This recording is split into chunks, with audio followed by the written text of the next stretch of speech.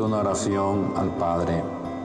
Le da las gracias por haber revelado a los pequeños y humildes la verdad sobre su persona, sobre su ministerio, sobre su misión. Jesús se muestra como Hijo de Dios, como el Señor manso y humilde de corazón. La sencillez no es algo dado, tampoco se nace con ella, se adquiere, se conquista. Es más que un valor, es una manera de ser, de vivir.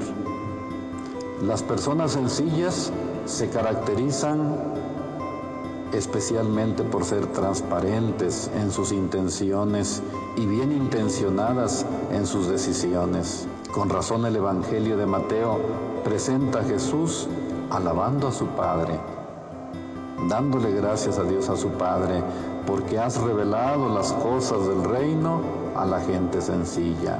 Esta acción y palabras de Jesús resaltan en primer lugar que la alabanza no es como generalmente se hacía en las acciones judías por algún beneficio personal.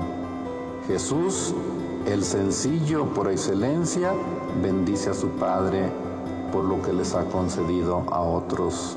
En este caso, aquellos que por su pobreza o discreción eran despreciados o ignorados.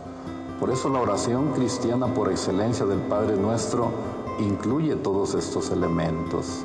La alabanza, la bendición, la acción de gracias, la súplica, la petición.